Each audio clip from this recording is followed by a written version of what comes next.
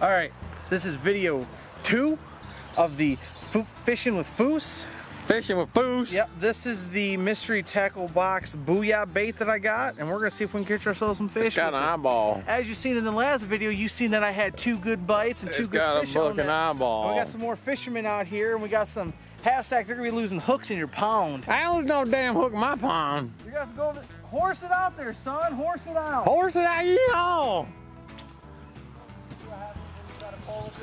Don't cross the streams.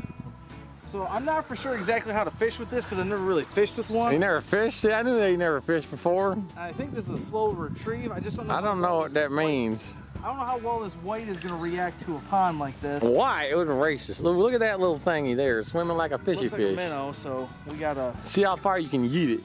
No, that's not the. Because we got our one fisherman that's got it in the cattails over there. Oh, he's in the cattail. We got one fisherman. Down, Jesus. One of the. Oh, he's all fucked up. Yep. Oh my lord, you gotta walk that thing all the way around? Oh, got one! Got it! Oh, look at that guy, he got one already. That's good bait there. Sneak by ya. Oh, Of course, all we got. we got a handicap here. Oh, you got a pair of pliers now? Oh, I don't have a pair no. of pliers yet. Look at you, using the goddamn fish with no pliers. So we're a minute 30 in and Kyle already caught some dead fish. It ain't dead. You better get that son bitch.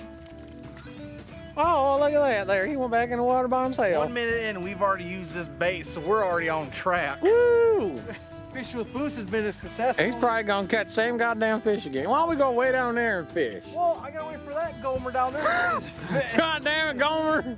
Get your shit out of the cattail.